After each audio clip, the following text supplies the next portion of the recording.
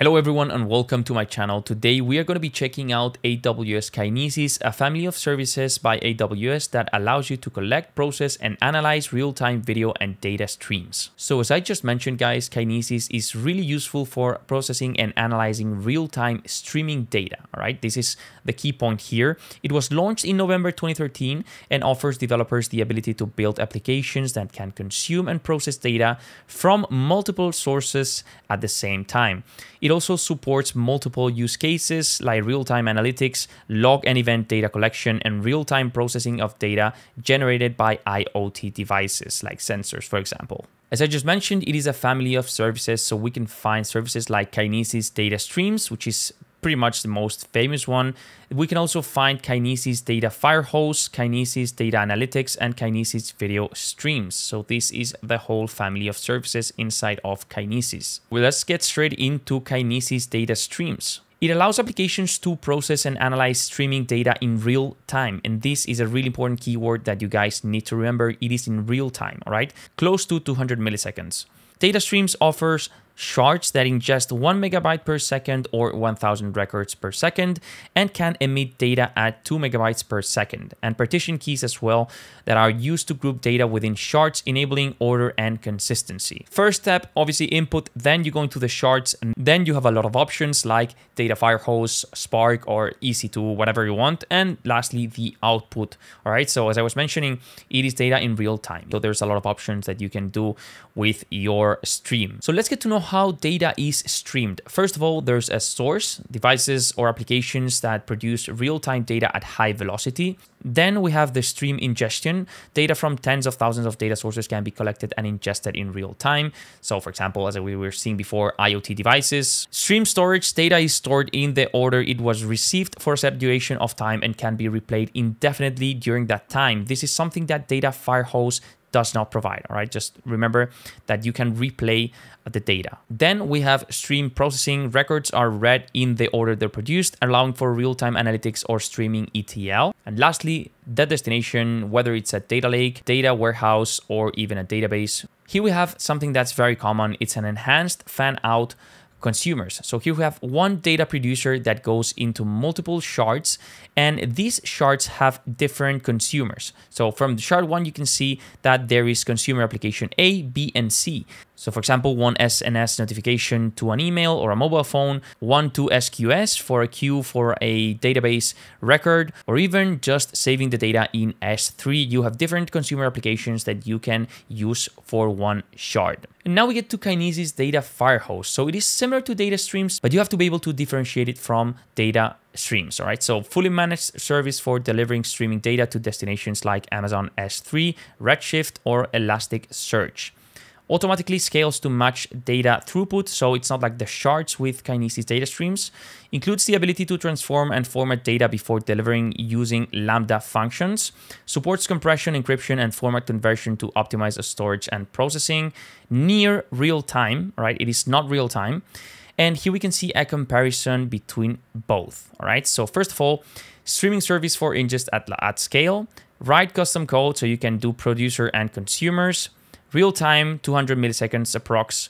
Manage scaling shard splitting or merging. So as i was mentioning you have more ability to control the scaling. It doesn't scale on its own like data firehose. Data storage from one day to 365 days supports replay capability and then we get into Kinesis Data Firehose, load streaming data into S3, Redshift, OpenSearch, third party, or custom HTTP. So it's more focused on loading this data into one of these services. Fully managed, near real time, automatic scaling, no data storage, and doesn't support replay capability. Now we get into Kinesis Data Analytics, process and analyze streaming data using standard SQL. You can generate time series analytics, calculate metrics over time windows, and then stream these values to S3, Redshift uh, through Kinesis data delivery stream. Feed real-time dashboards. You can send aggregated and processed streaming data results downstream to feed real-time dashboards. Create real-time metrics. You can create custom metrics and triggers for use in real-time monitoring, notifications, and alarms. So this is the way of really diving deep into what's going on on the stream rather than just uh, creating the infrastructure or the pipeline for the real-time streaming data, all right? Now we get into Kinesis video streams. So fully managed AWS service to stream live video from devices to the AWS cloud or build applications for real-time video processing or batch-oriented video analytics. Capture massive amounts of live video data from millions of sources, including smartphones, security cameras, webcams, cameras embedded in cars, drones, and other sources. Build applications to access the data frame by frame in real time for low latency processing. It automatically stores and encrypts this data at rest. Alright guys, so now that you know a bit more on AWS Kinesis, we're going to be doing our hands-on. So first thing we want to do is to create a data stream inside of Kinesis. So just click on create a data stream and do a name. So we're going to be doing sensor data stream and we are going to be changing the capacity mode to provision. So one shard is enough for our example. Just click on create data stream and it's gonna take a while. It's pretty fast. It, it definitely not gonna take 10 minutes. All right, so it took around 10 seconds and our data stream has been created. The next step is to create the sensor data or to generate the fake sensor data. Uh, we're going to be simulating it from an EC2 instance. So you guessed it, we are going to be going over to EC2 and we are going to be launching an instance. All right, so click on launch instance right here and do a name again, sensor data instance. All right. For the application, Amazon Linux and the architecture is okay. The instance type is okay. For the key pair, I have created my own. It's a .pem. And for the network settings, we're going to leave everything as it is, but we are going to be creating a security group and we are going to be allowing SSH traffic from our own IP. So we have some degree of security inside our instance. Not that we're going to be saving anything important on the instance. It's just going to be generating some data, but it's better if we have this measure. So that's pretty much it. We're going to be launching the instance and it's going to take around one minute uh, for it to be fully functional. So as we can see right here, it's gonna it says that it's running, but the status check is initializing. So we're gonna have to wait for this to be okay. Two out of two checks. And once we have those two checks, we can move on. All right, so now that the instance state is running and the status check is two out of two checks passed, we can connect to the instance via SSH. So let's copy the public IPv4 address and we're going to be connecting with this command in the command prompt or PowerShell SSH I and then the location of your key pair and lastly EC2 user and the IPv4. So that's pretty much it. You just click on enter. Yes and we are in the EC2 instance right now. All right, so we have successfully connected to it. First thing we're doing is creating a directory inside, which is going to be called sensor data. All right, now we can see right here, sensor data. We're going to be going into this folder right here. And once we're inside, we are going to be creating our script with nano. All right, so we can do nano script.py and right here, we're to be pasting this really simple Python script. All right, so this is the script. It's a pretty simple script. It only, so all right. All right, so this is the script. It's a pretty simple script. It just generates random sensor ID, temperature, humidity, and then stamps the time. And here we can see the function that sends the data to Kinesis. It's really simple, guys, just the, using the put uh, record method. And yeah, that's pretty much it. We're to be saving this file right, looks like I messed up the script. I also pasted this part, which is the SSH command. So we're going to be removing it real fast. All right, so now it looks better.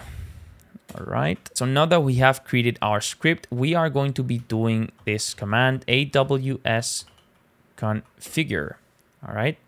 We're going to be needing our AWS Access Key ID, which you will be able to find in the IAM panel. So I'm going to be going over. I'm not going to show it to you, obviously. All right, so we are installing pip3 so we can download Boto 3 in our instance. So now we can do pip3 install Boto 3.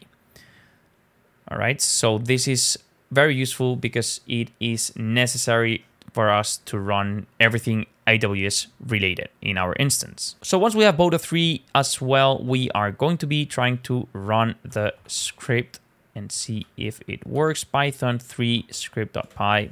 It is working. We are successfully sending the data every single second to our Kinesis data stream. So this looks like it's working. Let's go ahead and go into Kinesis. So we can verify we are starting slowly to receive some data. All right, so keep in mind, it's gonna take some time. Of course, we just started sending data. All right, so I've waited for a bit. I've changed the time window to be five minutes and we can see that we are starting to receive some data. It is a really, really small amount of data, but we are starting to receive some. So we are going to be checking out the actual data that we are receiving. And for that, we're gonna be creating a consumer in our Kinesis data stream. So let's go into applications right here and let's create a consumer. So process data in real time. We're gonna be using the first option, Apache Flink Studio Notebook. Just click on create. And this is going to take a while to create.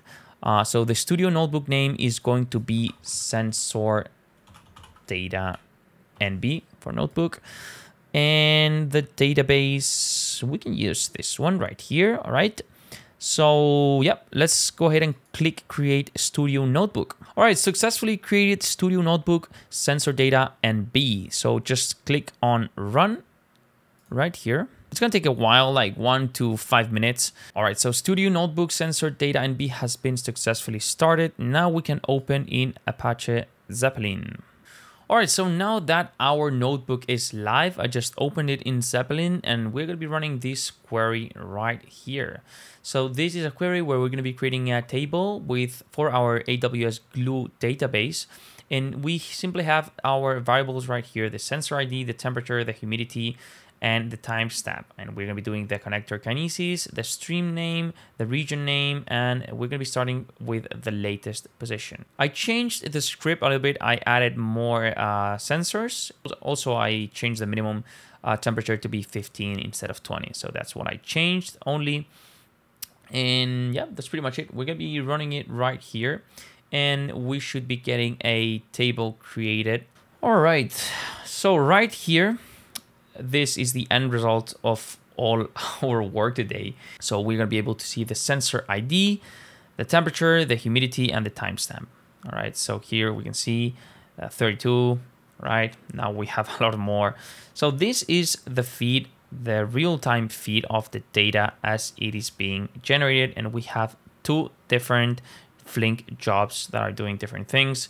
But we are able to see the temperatures, the humidity, and the timestamp. All right, so that's pretty cool and that's what we are here for basically. Uh, this is a way of viewing the data in real time for a sensor. So this could be for example uh, the live position of uber that you want to track or you have a fleet of car sharing vehicles and you want to track the position in real time. You can do it with kinesis data stream. Not the most popular aws service of course. Uh, you have much bigger and uh, demanded services like EC2, S3, Lambda, and I'm going to be going over every single one of those. Make sure to subscribe, guys. Leave a like if you enjoyed this video, and I will see you in the next one.